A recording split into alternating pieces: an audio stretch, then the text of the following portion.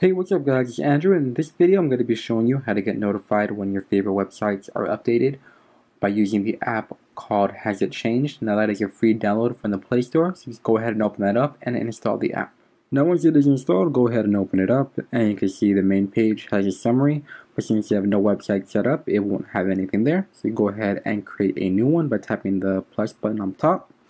Under URL, just enter the website that you want to check after that, tap OK, and under protocol, you're going to either um, select HTTP, HTTPS, or FTP. Now that'll just depend on the website that you're using. The easy way to find that out is to go to the website and then just check the URL to see which one it is using. After you select that, you could change the uh, time frame. Now, the time frame, you could enter anything you want. Um, just make sure that you spell it correctly. So if you want to do it every hour and a half, just enter 1 hour 30 minutes and you'll be all set. It'll check that website every hour and a half to make sure that you are completely up to date. And if you are not, it'll send you a notification. You might also want to enable the Wi-Fi only option to make sure you don't run up your data limit.